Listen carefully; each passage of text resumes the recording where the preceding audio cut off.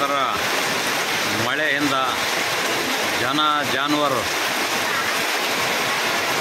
ತತ್ತರಿಸ್ತಿದ್ದು ಸೊಳ್ಳೆಗಳ ಹಾವಳಿ ಹೆಚ್ಚಾಗುತ್ತಿದ್ದು, ಮಲೇರಿಯಾ ಮತ್ತು ಟೈಫಾಯ್ಡ್ದಂಥ ಕಾಯಿಲೆಗಳು, ರೋಗಗಳು ಜನರಿಗೆ ಹೆಚ್ಚಾಗುತ್ತಿದ್ದು, ಆಸ್ಪತ್ರೆ ಸೇರುವ ಪರಿಸ್ಥಿತಿ ನಿರ್ಮಾಣವಾಗಿದೆ.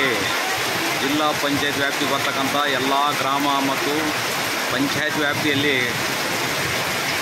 ಬೆಳಗಿಂದ ಸಾಯಂಕಾಲ ಅಲ್ಲೇ ಠಿಕಾಣಿ ಹೂಡಿ ಸಾರ್ವಜನಿಕರ ಸಮಸ್ಯೆಗಳನ್ನು ಆಲಿಸಬೇಕು ಮತ್ತು ಅಲ್ಲಿರ್ತಕ್ಕಂಥ ಚರಂಡಿ ನೀರು ಸ್ವಚ್ಛಗೊಳಿಸೋದ್ರ ಜೊತೆಗೆ ಬ್ಲೀಚಿಂಗ್ ಪೌಡರ್ ಸಿಂಪಡಿಸಿ ಸಾರ್ವಜನಿಕರಿಗೆ ತೊಂದರೆ ಆಗದಂತೆ ಕಠಿಣ ಕ್ರಮ ಕೈಗೊಳ್ಳಲು ಜಿಲ್ಲಾಡಳಿತ ಮುಂದಾಗಬೇಕು.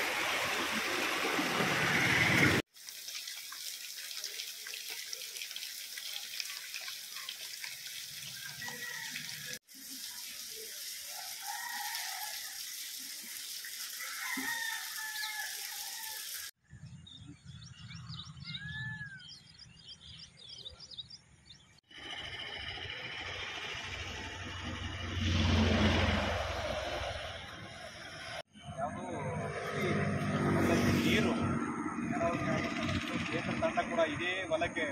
ಭೇಟಿ ನೋಡು, ರಸ್ತೆ ಬದಿಯಲ್ಲಿರ್ತಾವಂತ ಹೊಲನೇ ಹುಡುಕ್ತಾರ ಅವ್ರು. ಯಾಕಂದ್ರೆ ಕೆಳಗೆ ನೋಡ್ಲಿಕ್ಕಾಗಲ್ಲ ಕೆಲಸ. ಎಲ್ಲ ರೈತ ಭಾರೀ ಮಳೆಯಿಂದ ಹೆಸರು ಮತ್ತು ಹತ್ತಿ ಬೆಳೆಗೆ ನುಗ್ಗಿದ ನೀರು ಜಲಾವೃತರಿಂದ ಬೆಳೆ ನಾಶ, ರೈತ ಕಂಗಾಲು. ಮಳೆಯಿಂದ ಬೆಳೆ ನಾಶ ಆಗಿ ರೈತ ಟಿಲ್ಲರ್ ಹೊಡೆದು ಹೊಲ ಉಳುಮೆ ಮಾಡಿರ್ತಕ್ಕಂಥದ್ದು.